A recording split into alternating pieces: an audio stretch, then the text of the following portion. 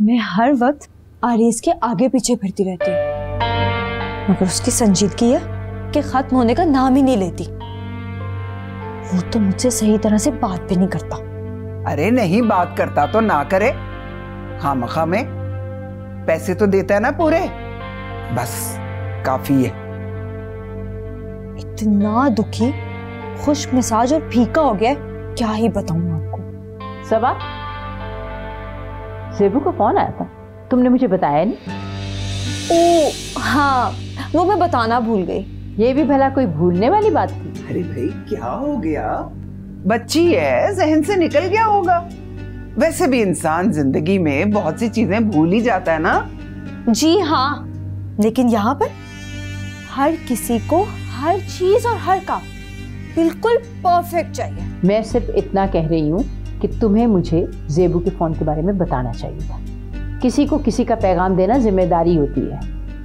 मैंने आपको कहा ना मैं बताना भूल गई थी।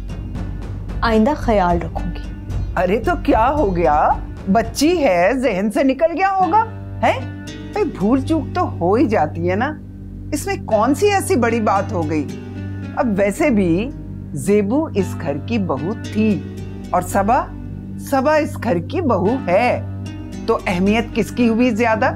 सबा की हुई ना? अपनी अहमियत इंसान खुद बनाता है। आज के बाद जेबू का फ़ोन आए मुझे फ़ौरन बताना। जी बेहतर। देखा आपने? देख रही है ना?